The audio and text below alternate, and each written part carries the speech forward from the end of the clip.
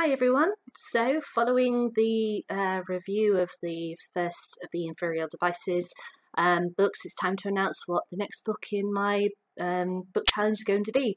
Now, obviously, I'm reading a series of books, so that means that um, I can't just pick a, a book from my jar of uh, book titles for the year. I have to start on the next one of the series, which um, I'm really looking forward to to, to reading. Um, if you want to have a look at my review that I did of the, the first book, I mean, yeah, I absolutely loved it, um, and I'm really looking forward to starting the next book, which which is always good because obviously you don't want to have a series where you read the initial book and go, oh, I'm not too sure about this, but I really did like it. So instead of going to the jar, I can simply hold up the book I'm going to be reading next, which is the book two of the Infernal Devices called The Clockwork Prince.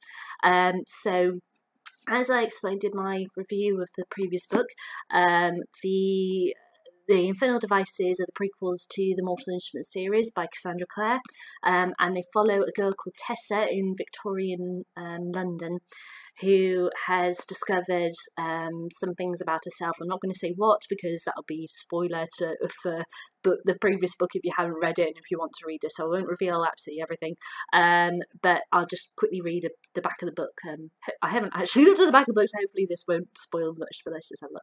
Right. In the magical underworld of Victorian London, Tessa Gray finds her heart drawn more and more to Jem whilst her longing for Will continues to unsettle her.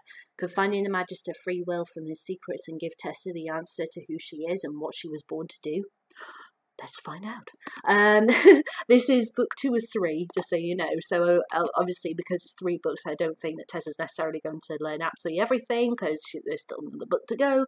But yeah, I really, I'm really looking forward to to reading this, finding out what's going to happen to Tessa, and especially um, as I said in my review of the previous book, finding out what's going to be happening to Jem because I absolutely love Jem. Um, so yeah, so I'm going to be starting on that uh, first thing tomorrow morning, um, and I will be back soon with a video uh, reviewing this this book. So another one looking really really looking forward to. So uh, I'll see you later.